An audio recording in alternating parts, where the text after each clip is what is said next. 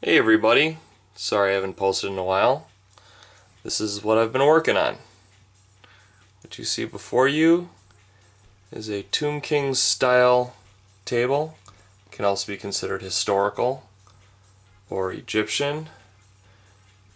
If there is any Anubis players out there, I'm sorry, Egyptus players out there, this falls right into your category as well. This table represents what I'm going to be selling on eBay in various groups. I built this table using five of each type of various types of scenery and I guess we'll just get started.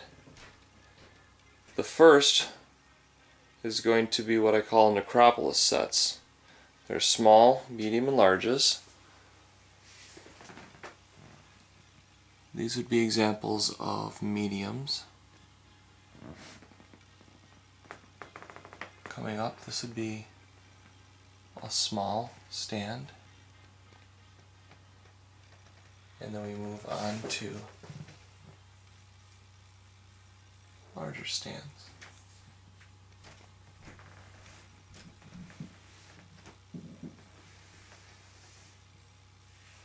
We also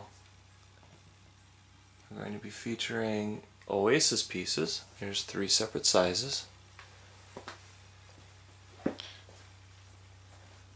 Largest has water and palm tree with large rocks. Then we move into medium size that features plants, which shows that there's water underneath the ground. Of course this can always work as hardcover or terrain that'll slow you down, soft sand, what have you.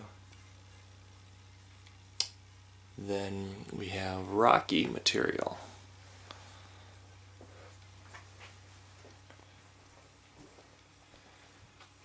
Rocky material, this would represent a large stand has fallen boulders, has some scrub brush, can use as a defensive position. Then you have medium sized as well as small sized. They all have room for troops to move through them. And we have three different types of hills. This type of hill would be a cliff or rocky style hill.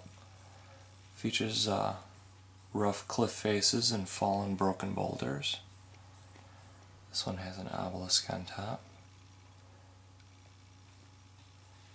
Plenty of room for troops up there. Then we move on to a mixed hill. It's got a cliff face to one side. Some fallen boulders in the front but you'll notice it has a smooth sandy back. And then of course your normal sandy dune style hill.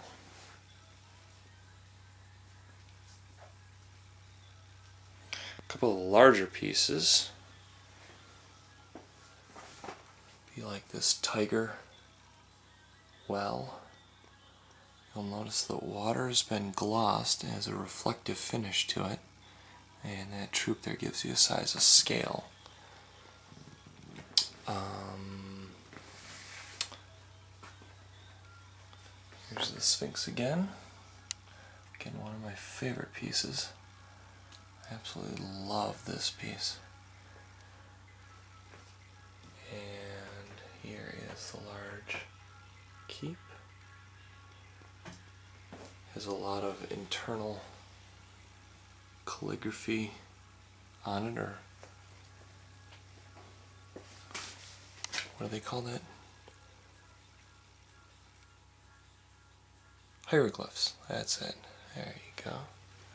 And this is again done in the same style, except it's just a little bit smaller. So there you basically have it. This is the kind of terrain